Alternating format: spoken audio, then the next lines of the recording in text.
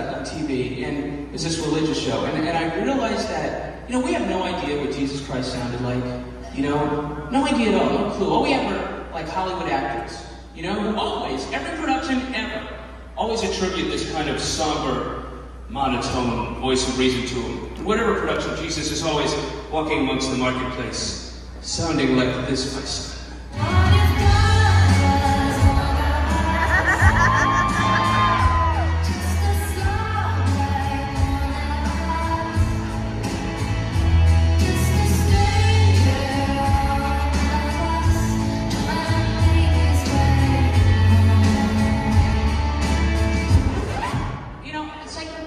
Idea what he sounded like. That was 2,000 years ago. They didn't have tape recorders back then. I mean, for all we know, he could have sounded just like a really effeminate Southern guy.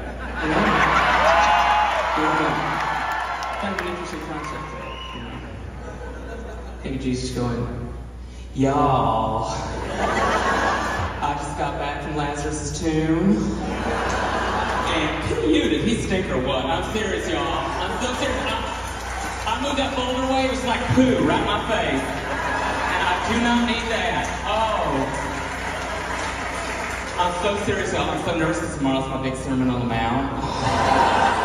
It's so important. I don't know what to do or say or in. Come on in. How's the bazaar? Don't tell me I'm going tomorrow.